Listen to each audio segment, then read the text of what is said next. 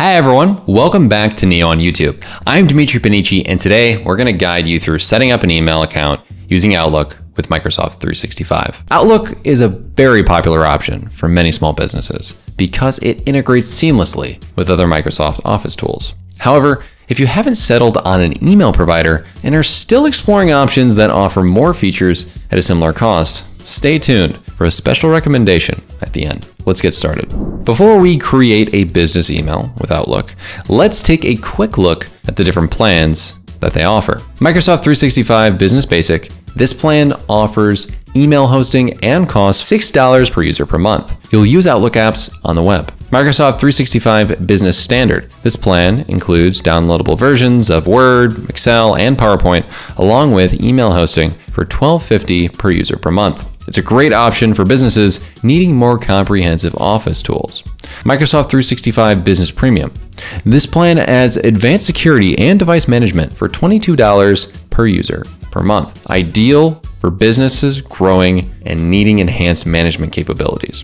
While Outlook offers these email services as part of their Microsoft 365 packages, it's important to note that Outlook provides basic email functionality and requires additional setup for domain management and advanced features.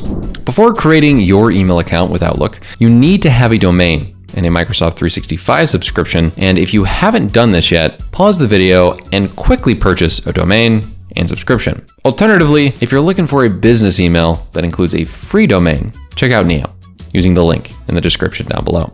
Once you have your domain, follow these steps to create your email ID. First, you're going to log into your Microsoft 365 account. Click on Admin to access the Microsoft 365 Admin Center. Then go to the Setup page for Microsoft 365 and click Try Free for one month. Enter the email address you want to use for your business and click Set Up Account. Next, you're going to choose a temporary domain for initial setup, such as yourbusiness.onmicrosoft.com, and this will be your initial setup account information. Enter your business name and set up your first user with username and password. After that, enter your payment information to start the free trial. Remember to cancel before the trial ends if you don't wish to continue, or you are going to be charged automatically. Once your account is set up, log in with the on Microsoft.com account, and you'll have the option to install Office apps. But you can skip this if you prefer using the web apps. Next, set up your custom domain, enter your domain name, and if you purchased it through GoDaddy, Microsoft can set it up automatically. And if not, make sure to use the manual setup option. After that, add a TXT record to verify your domain ownership, copy the TXT value provided by Microsoft and paste it into your domain's DNS settings. Save the record and verify it in the Microsoft 365 Admin Center. After verifying your domain, add your users. If you're migrating from another email service, do this before changing your MX records. After that, connect your domain by adding the necessary DNS records, MX, CNAME, and TXT provided by Microsoft. This ensures your email is properly routed and authenticated. Complete the setup and start using your new Outlook email. You can test it by sending and receiving a few emails to ensure everything is working correctly. Since Outlook requires additional setup for domain management and lacks advanced features, it might not be the most convenient option for all businesses. Now let's compare this with Neo. While Outlook provides a straightforward way to set up an email account, it requires much more setup for domain management and lacks some advanced features.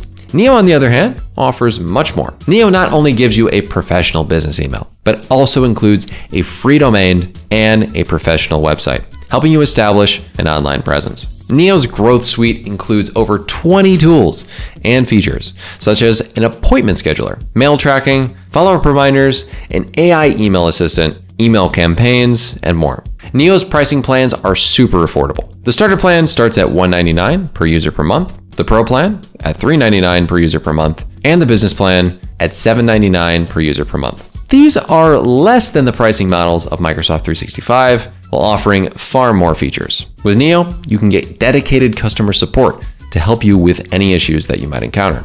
I hope you found this tutorial helpful. While Outlook with Microsoft 365 is a decent option, Neo offers far more features and value for your business needs. Click on the link in the description below to learn more about Neo.